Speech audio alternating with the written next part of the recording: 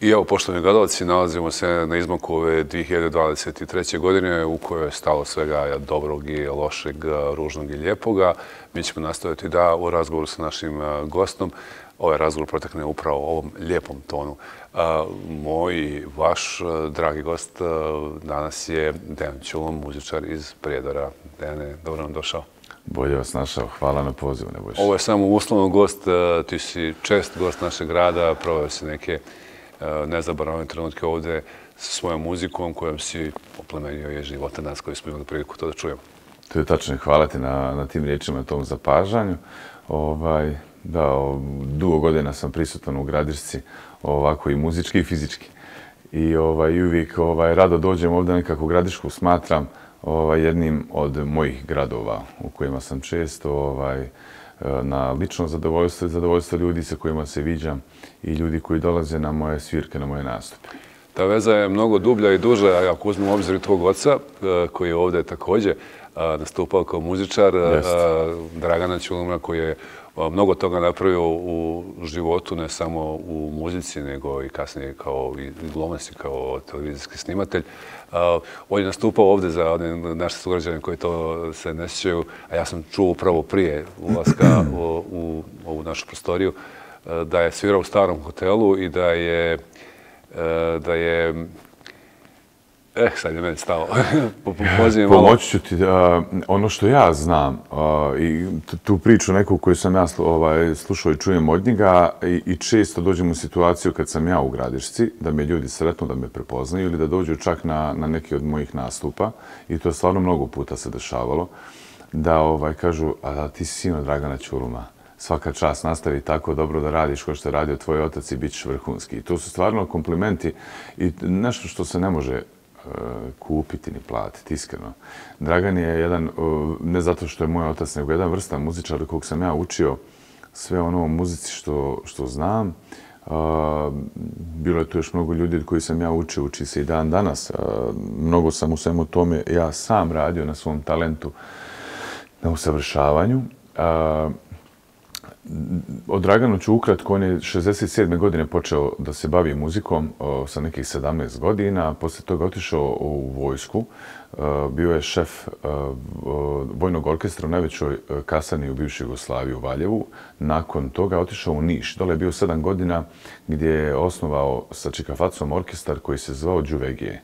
Jako je zanimljivo da taj orkestar i dan danas postoji i nikad se nije ugasio od 70 ja ne znam tačno sad koje je to godine, ajde recimo neke od 70. godine. Mislim da je to orkestar koji ima najduži staž u bivšoj Jugoslaviji pored U grupe.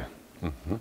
Orkestra i benda. Dragan je posle toga pjevao po, ovaj, ovaj, po, po cijelom svijetu i svirao. Između ostalog, eh, Gradiška i hotel Kozara, Kozara u Gradišci su bili jedan od tih eminentnih hotela i lokala koji su imali imali orkestre sa vrhunskim muzičarima i pjevačima, gdje je on nastupao i gostovao i godinama je tu ovaj, svirao.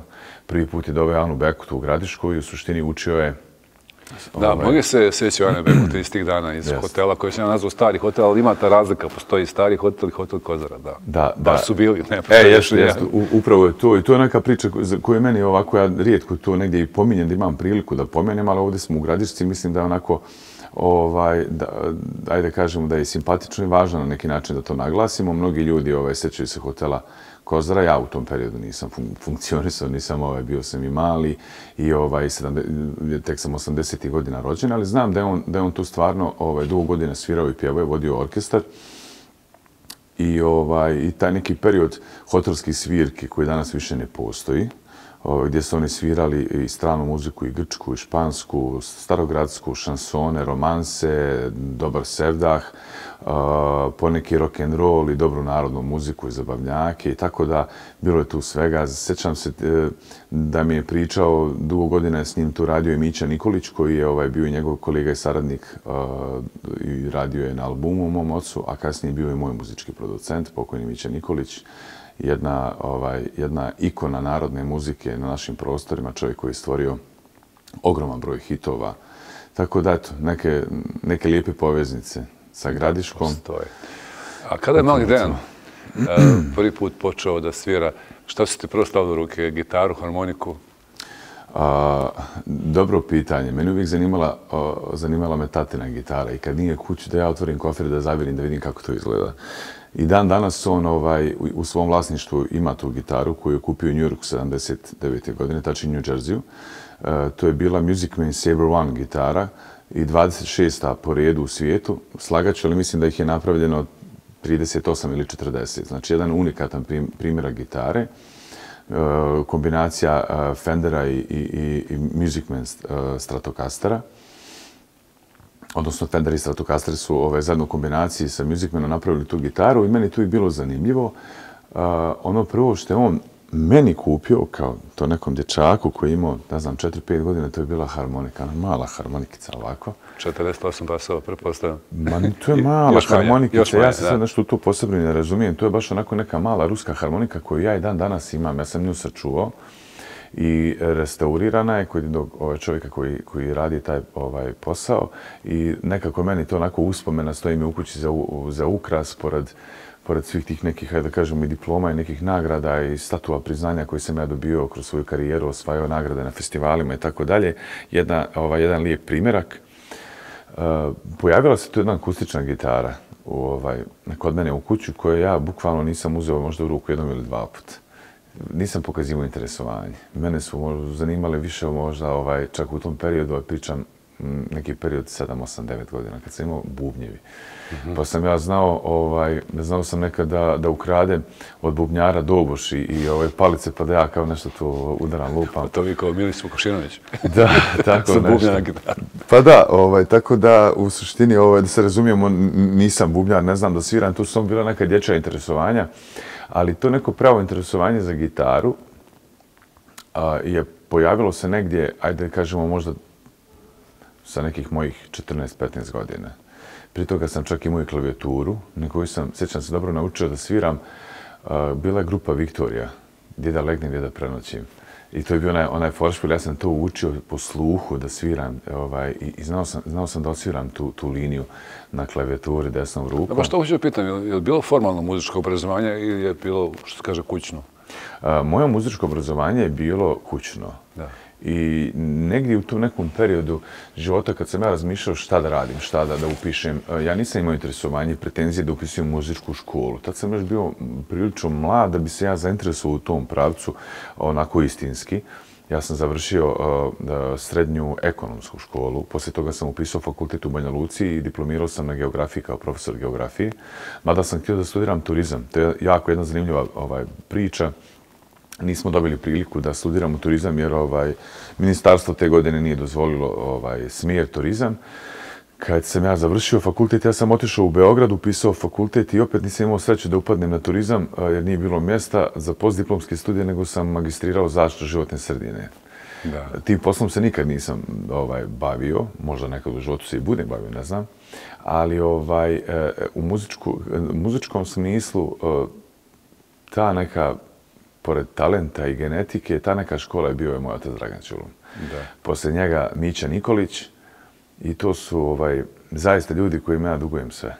E sad dobro vidimo, znači ekologija je vjerojatno izgubila ovu utakmicu, muzika dobila, a mi svi zajedno da. sigurno dobili mnogo. Uh, pretpostavljam da je negdje u tom periodu srednje škole negdje moralo biti prvih uh, svjetki. Sjećam se jednog trenutka, uh, to je bila moja matursko veče srednje, e, uh, srednja škola, kad sam završao ekonomsku školu. Ja sam tada ovaj, uh, svirao električnu gitaru i svirao sam ti sve te neke uh, mnogo zahtjevne foršpile. Pošto svi ono kad počnu da sviraju gitaru, sviraju te neke akorde, ne znam, pa sam da eventualno crni leptir. Me to ušte nije zanimalo. Ja sam bio totalno u nekoj drugoj sferi interesovanja. Pa prvo što sam ja naučio da sviram, to je bilo solo, ne harmonski akorde, nego solo sam svirao pjesmu E, Toma Zdravković, odnosno Silvan Armenović, šta će mi život bez tebe, dragi. I onda poslije toga sljedeća je bila, tačno se sjećam tih momenta, ostalo mi to u sjećanju, ispod palme naboli mora. Meni su ti foršpili, ta muzika bila zanimljiva, ta virtualnost, da ja to pogodim te tonove na sluh. Kasnije mi je otac pokazao raspored e, prstiju na, na gitari, ha, harmonske te neke hvatovi, ostalo sve što sam učio malo i preko knjiga i tako dalje i od raznih kolega muzičara. Ali ostaće mi žal, što, što sam se ja bio spremio baš da na moje maturskoj večeri odsviram dvije pjesme i te neke solaže koje sam spremio, a bend mi nije to dozvolio. Nekako nije bio moment, nije, nisu dali mi pažnju. To je bilo negdje sa mojih 18 godina kad sam završao srednju školu ili 19. I ovaj, sjećam se da tu bila jedna od pjesama uh, Rano je za tugu, jer taj Forspil Rano je za tugu koji je, čim se svirao Futara Dulović, je onako prilično zahtjevan, ali virtuelan i, i mnogo moćan sa onim gitarama sa distorzijom. I htio sam ja to da odsviram, a da moj otac otpjeva, pošto je on bio na, na toj maturskoj večer zadužen kao fotograf ovaj, ispred, ovaj, ispred škola ispred, ovaj, u Prijedoru. I da bude situacija onako još simpatičnija, poslije svega toga, prošlo ja to nisam ni svirao, nisam ništa ne otpjevao, moj ovaj, moj prvi ozbiljniji band sa kojim sam ja počeo da, da sviram i da radim privatne zabave i novu godinu tako dalje, upravo je bio taj band koji mi nije dozvolio na maturskoj večer da osviram tu pjesmu. To je bio LP band iz Prijedora koji u tom sastavu više ovaj, već dugi niz godina ne postoji. Znači, vi ste kao ono stripu, kao veliki vezir, htjela da postanete kalif na mjesto kalifa, tako da da nešto preuzeli bend. pa, bukvalno tako, ali ajde, ne, ne bi to možda baš tako gledao.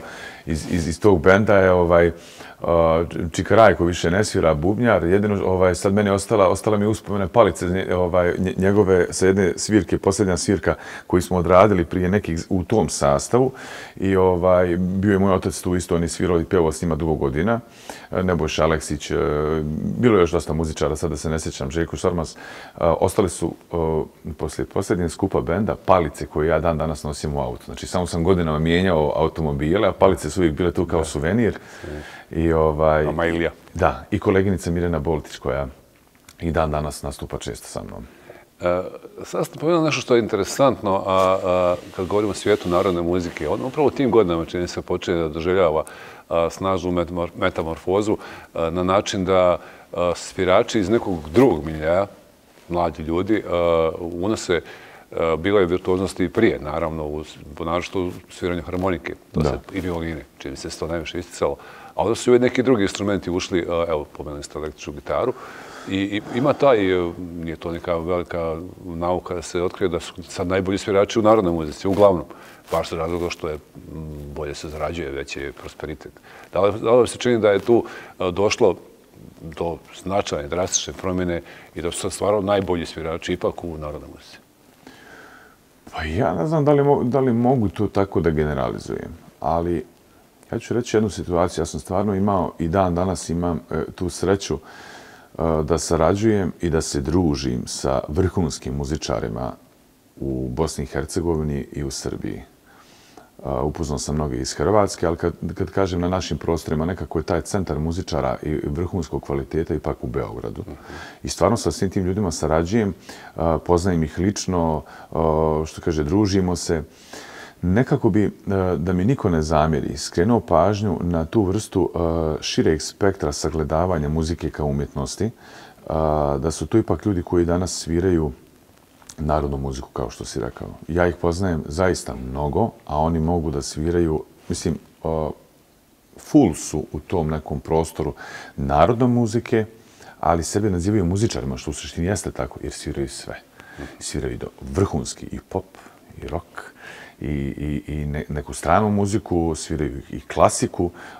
Većina njih su školovani muzičari, neki su i samouki posebno, posebno da kažemo ti neki violinisti koji nisu završili škole, a Romi su koji sviraju violine savršeno i brutalno, tako da mnogi su, mnogi su u, tom, ovaj, u tom muzičkom smislu stvarno onako vrhunski instrument. Evo sad iz ugla konzumenta, ispričali ste mi sjajnu anegdotu, odnosno događaj nastupate u Sanskom mostu, jednom sjajnom objektu, da ga sad ne reklamiramo. Uh, satima ste stavim, kažete da svirate i da reklo bi se da nema čak ni reakcije u smislu, ne znate da li je to tom ambijentu publici adekvatno i onda ste napravili pauzu, čuo ste glas, tražili ste muzičku da. želju, tako kad imaju muzičke želje. Da, da, da, ja, jako je to, to, to je sad, to je sad ta, taj feedback od publike koji se, koji se ovaj, e, traži.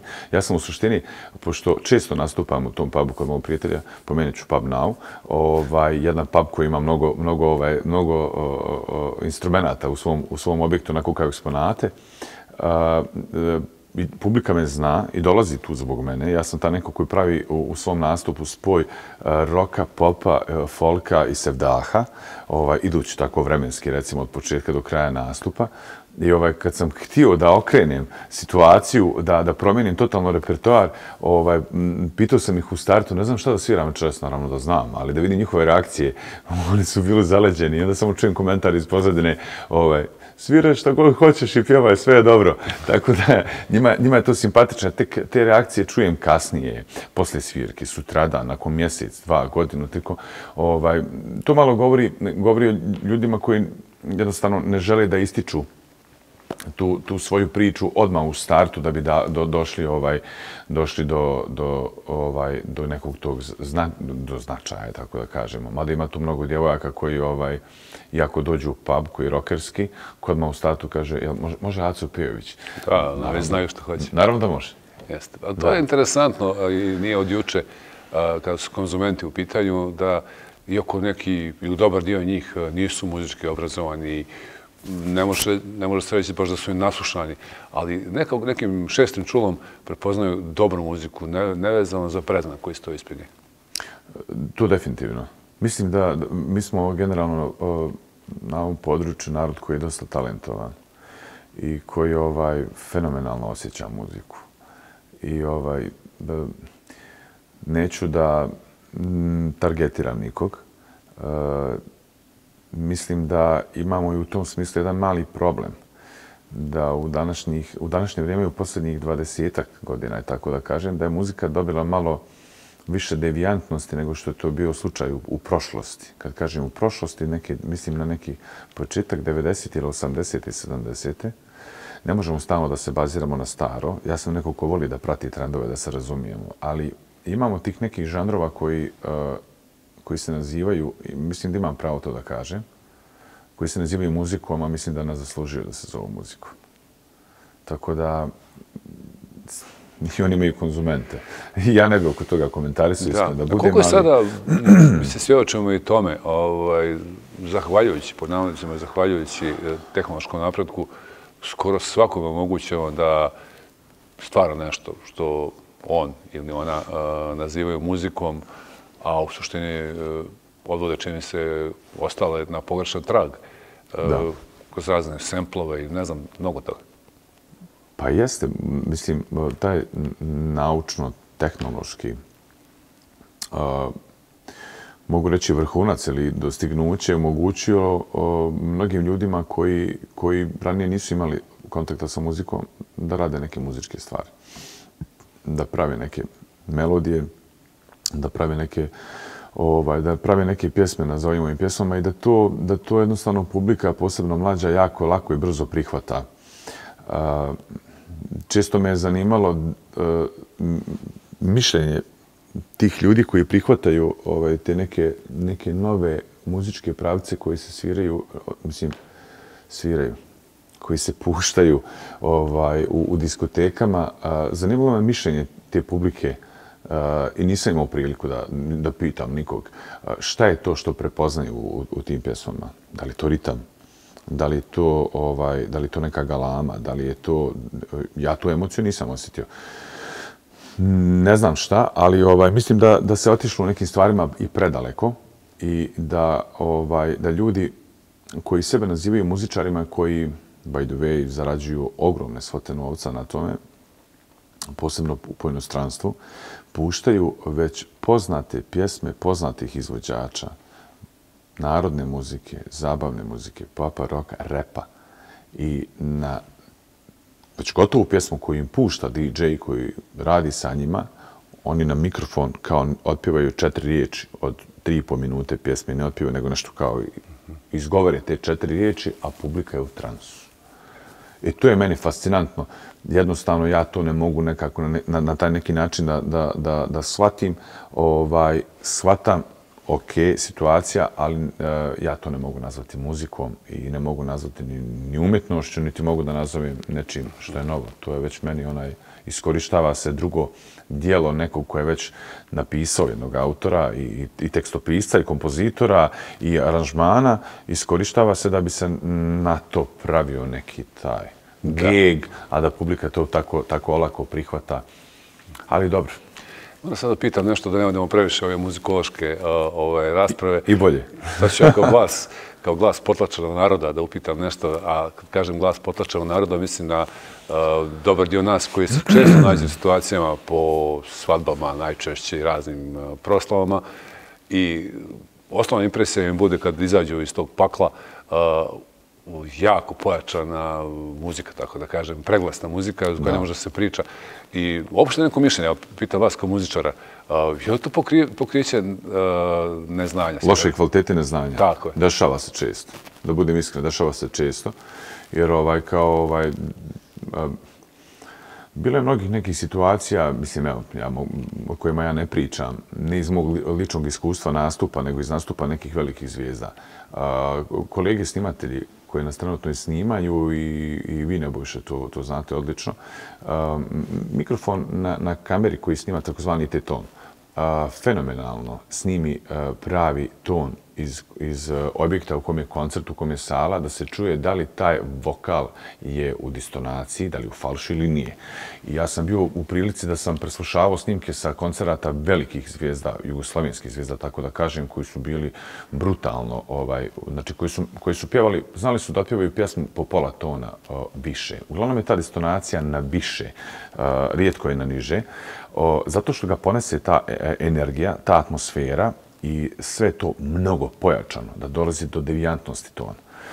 Na ovom nekom nižem nivou, na svadbama, na svirkama, e, mislim da tu dosta nedostaje također edukacije, nedostaje ljudi koji se bave tonom ovaj, da bi napravili dobar sound i ovaj, negdje se prikrije, prikrije se taj nekvalitet, a negdje se tu istakne i neznanje po tom pitanju ima jedan svadbeni salon i, i, i sve više ih je, pošto ja dosta pjevam i svadbe, privatne zabave, pored raznih koncerata i diskoteka i pubova i tako dalje. Ima jedan svadbeni salon koji je bio očigledan primjer i ljudi koji su radili idejno rešenje tog svadbenog salona gledali su na estetiku, na, na, ovaj, na funkcionalnost prostora, kapacitet, ali nisu gledali uopšte na, na sound. I ni, znači, da li ljudi koji su bili arhitekti ili kako već, da li im je tako dao nalog tajni vlasnik ili, ili kako god, nebitno je, ne vraćaju pažnju na, na sound da se, da se napravi uh, prostorija akustično da bi tu ton bio odličan. Uh, imamo jedno svadbeno veselje, tu je 500-600 ljudi, ogroman je svadbeni salon, a to je katastrofa. Zato što je mnogo stakla, zato što je mnogo betona, mnogo pločica, nema akustičnih elemenata koji mogu tu da upiju i da naprave odbijanje tog tona. I ovaj, moj kolega uh, iz Istočnog Sarajeva, kad smo radili svadbu tom prilikom, uh, svi bendovi prije su se pojačavali što jače da bi nadomjestili taj nekvalitet uh, enterijera u zidovima. A on je dačko koji je recimo školovan, koji je završio muzičku produkciju i on kad je došao, kad je čuo uh, i vidio izgled tog lokala, on je znao kako da tih 500 ljudi mi podmirimo. I ovaj, napravio je totalno najtiši ton od svih bendova koji su svirali prijethodni godinu dana to.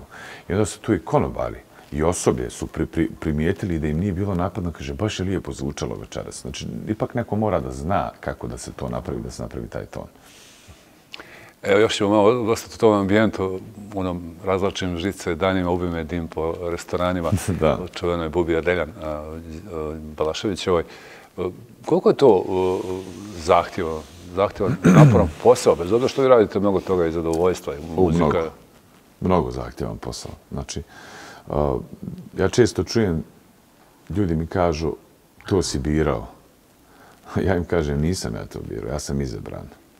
Ja na ovaj način ne podilazim nikome, pa ni sebi, nego to je sa istinski tako. Ja sam taj talent naslijedio do genetika, dar od Boga. Uh, ako bi ja birao iz djetinjstva nešto što bih ja više volio, to je da budem filmski glumac.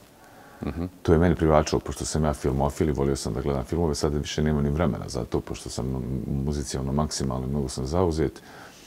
Ali ovaj, e, sve te neprospavane noći, e, dani rada, truda, vježbanja, organizacije, dnevno po 50, 70, 100 telefonskih poziva, poruka, e, iziskuje to mnogo rade, truda, čisto dođem u situaciju da nema vremena da se naspavam, a s nami treba da bi mi grlo bilo čisto, da mogu normalno da pjevam. Tako da samo onaj ko, ko radi ovaj posao, ko se bavi ovim poslom istinski, ko, ko i oni ljudi koji su oko mene znaju koliko je to naporno. I često znam da kažem mojim drugarima i kolegama koji, ovaj, ili ljudima koje sretnem, pa se zapričamo, kažu lako je tebi. Neko kaže u šali, neko je ozbiljan. Ja onda samo kažem, ne trebate ništa, ja sam ovdje 20 godina u muzici, Bogu hvala, i Bože zdravlje, bit ću još minimum toko, ja se nadam. Ovaj, idete sa mnom samo jedan vikend, ne trebate ništa da radite, samo se vozite sa mnom. I ovaj, vaša reakcija nakon tri dana, ja znam kako će biti. Ja ovo ne mogu. Svaka tebi čas. Tako kada već pominjate noć i kada pominjate vožnju, uh, ja mislim da bi bio grijeh da vas ne čujemo u jednoj numera koja pominje i noć u voždu pijakerom, e, u jednu soborsku noć u rodnom mjesto Nikola Jokića i još nekih od nas. Pa da vas zamolim da sa gitarom vašim jednim pratitelcima izvedete, evo recimo, jak stari. Pa može, ako je to vaša želja, ovaj, napravit ćemo to. Ovom prilikom ja neću da, da sviram moje pjesme, ali ovaj, svirat, ćemo, svirat ćemo tu neku pjesmu koju svi znaju. Uh, Fijaker stari ulicama luta i sobom vozi zaljubljeni par. Cele noći sneg polako pada, a dvoje mladih kreje srca žar. Cele noći sneg polako pada, a dvoje mladi gre srca žar. Ek da mi se lastom stvoriti, pa da mogu nebom letjeti. Leteo bi ceo dan i noć, samo da mogu svojoj dragoj poć. Leteo bi ceo dan i noć, samo da mogu svojoj dragoj poć. Sjajno, hvala puno. Hvala vama. Evo, nadam se da smo ovih, eh, ne znam tačno nikoliko minuta, uspjeli da malo više kažemo i o vama i o vašoj muzici. Pa ne znam, evo, razmišljam, nismo to da tako planirali, ali možda i neku vašu numeru da čujemo. Mislim da bi to bio najbolji kraj ovog razgovora u ovoj godini koja polako ističe. Pa može vrlo rado. Evo, ja, ja ću da kažem to da mi je ova godina bila u muzičkom smislu uh, prilično uspješna. Nakon uh, snimljenog albuma 2006. godine, zajedno sa mojom sestrom Dijanom, uh, šest singlova a, koji sam radio ovaj, go, protekli godine ili posle tog albuma. Uh, naišao je taj neki period uh, a, u prošlosti kad sam ja napravio i pauzu u muzičkom smislu i tamo kad sam 2018. godine napravio jedan zalet, snimio sam himnu za reprezentaciju Srbije ovaj, u, za svjetsko prvenstvo u futbalu i pravio zalet a, i plan kako za dalje došao je taj period korone. I onda je tu ovaj, trebalo vremena da se sve oporavi. Uh, u prošle godine sam snimio jedan cover uh, u rock'n'rollu uh, legendarnu pjesmu uh, Bilo dugmeta da te Bog do ne volim, od koju sam, za koju sam u stvari dobio uh, autorska prava od Gorana Bregovića lično i rekao je daću ti ako, ako mi se dopadne daću ti besplatno autorska prava i tako je stvarno bilo i ja mu se zahvaljujem. Uh, Plan je bio da za ovu godinu uradim dvije pjesme i te pjesme su izašle. Liđanski festival, moja autorska pjesma Ja ne želim što sam tebi srce dao i pjesma koja, mislim, definitivno do sad pečat moje karijere, ostajemo ovdje. I to je pjesma koja će definitivno obilježiti ovu godinu što se mene tiče, svi kolega koji su radili sa mnom na toj pjesmi i nadam se obilježit će i moju karijeru i narednu godinu 2024. i ostale godine, jer reakcije koje ja dobijam za tu pjesmu su zaista fenomenalne i nešto što ja u suštini nisam mogu ni da vjerujem da mogu da budu takve reakcije iz cijelog svijeta. Ja ću upravo sad ociram pjesmu ili refren samo te pjesme Ostajemo ovdje kao jedan mali pečat uh, na ovu godinu i jednu lijepu poruku o svim našim gledalcima i slušalcima da ostajemo ovdje, da njegujemo ono odakle smo, ko smo i šta smo, da se trudimo da, da se volimo, da širimo ljubav, da njegujemo porodicu i tradiciju. Sunce tuđega neba neće vas grijati ko što ovo grije. Tako je, upravo to. Ostajem ovdje, zovem i vas, lažu da bolje je tamo je taj život stvaran za nas, tražit će dušu da damo. Ako i nekad potrpjeti treba, teškom životu doći će kraj. Ova je zemlja odmah do neba, ovdje već sada stvaraj mora. Sjajno, hvala vam puno i na ovoj numeri koji ste nam izveli, na razgovoru da vama i uh, vašim najbližim poželim sve najbolje u novoj godini da nam često budete kao i do sada gost. Hvala od srca na pozivu, hvala na lijepom razgovoru. Uvijek je uh, ugodno i prijatno razgovarati s vama, zato što ste stvarno u vašem poslu, vašoj branši neko ko je sa, sa kim je razgovor uvijek prijatan. Hvala, hvala od srca i sve najljepše. Da, ja moram sad nekako se izvučem iz ovih pohvala pa da kažem da smo moj gost i ja pojeftino nabavljaju ove sa koje. Imate raznih modela, neću reći gdje. ovaj, njegov ima ova narukavlja, moj, moj nema, ali izabrat ćete nešto. Naravno, eh, to je bilo sve za ovaj razgovor i za ovu godinu. I ja vam se u moje ime, mojih kolega koji su realizovali ovaj intervju, naista zahvaljujem. I želim naravno sve najbolje u novoj godini.